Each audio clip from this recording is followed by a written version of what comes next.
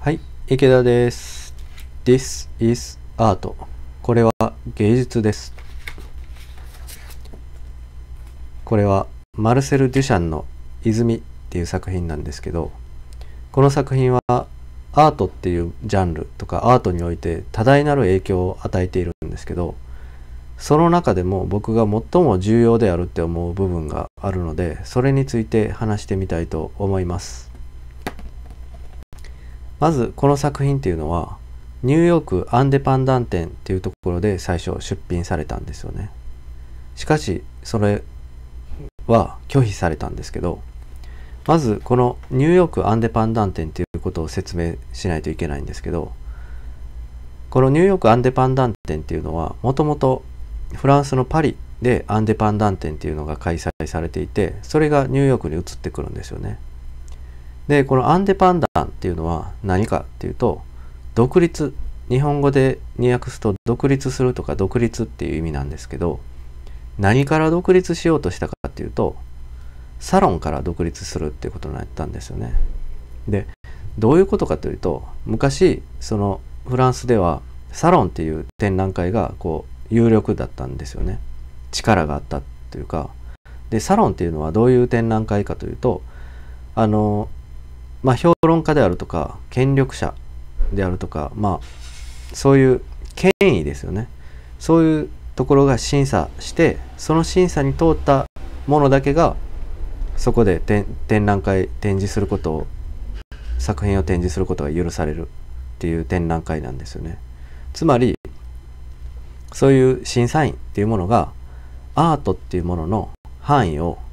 ジャンルの範囲を決めていたっていうことなんですよ。ここからここまでその審査員がこうこれこういうものがアートですよって審査員が思うアートの範囲内のものだけがアートとしてあの機能していたというかそういうものだけがアートとしてあの成立していたんですけどもちろん当時も新進気鋭のアーティストっていうのはいたんでそんなん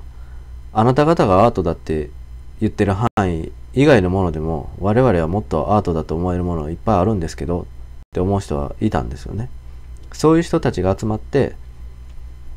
我々は全く違う展覧会を展開するっていうことでアンデパンダン展っていうのをパリで始めるんですよ。でそそのアンデパンダン展っていうのが何回も続いていくんですけどまあそれはそう独立するっていうのはそういうことですよね。誰かが決めた範囲だけがアートなんじゃないんだ。そんな考え方からは我々は独立する。もっと自由なんだ。もっとフリーなんだ。アートっていうのはフリーなものなんだ。そういう考え方ですよね。あの、審査がしません。アートっていうのは自由である。誰かがそんなアートの範囲を決めるようなことっていうのはおこがましい。そういう、そういう考え方で、その、アンデパンダン展っていうのが開催されるようになるんですけど、まあ、モネであるとか、ルノアールであるとか、ゴッホであるとか、そういう、まあ、今で、今となっては巨匠となっているそういう人たちも、そのアンデパンダン展から出てくることになるんですけど、それのニューヨークの展覧会でこれが出品されたんですよね。しかし、拒否されたんですよ。それはアートじゃありません。あなた、アーティストであれば、どんなものでも出品料さえ払ってくれれば、我々は審査しません。この実行委員会は、この展覧会においては、そんな、我々がそんな審査するなんておこがましい。そう、そう思っていたかどうかわからないんですけど、アートっていうものをそんな範囲を決めてしまうなんておこ、もう、アートっていうものはもっと自由に開かれるべきものなんだ。独立してるんだ。そんな、誰誰かがそんな決めた範囲のものだけがアートだっていうことなんかおかしいんじゃないかそんな理念ですよねそこにおいてこれはアートじゃないって言われたんですよつまりこれはアートではないものが決定したっていうことなんですよねそんじょそこらでアートじゃないって言われるのとは訳が違うんですよねアートというなら何でもよし。審査なし。完全自由。出品料さえ、出品料だけよこしてねっていう。そんなところで、これはアートじゃないって決定したっていうことはもうまさにアートではないものなんですよこれは。This is not art. This isn't art なんですよね。アートではないんですよこれは。しかしそこから人々の考え方が徐々に変わっていくんですよね。でこの現代においてはこの作品っていうのはアートに最も影響を与えた作品として第1位に選ばれてしまったんですよね。アートの中のアートアート中のアートっていうことになったんですよね。ここで僕が最も重要に思う部分があるんですよね。それはアートではないものがアートになったっていう事実なんですよね。これは当時今アートになったからって当時からアートであったかって言われると当時からアートではないんですよ。っていうより当時も今も何も変わっていないんですよ。まあこれの本物は失われて今美術館とかに展示されているのはあのレプリカなんですけど変わってないんですよ別に。でも当時は紛れもなくアートではないものだったんですよね。それが現代100年後の現代においてこれはアートになったんですよね。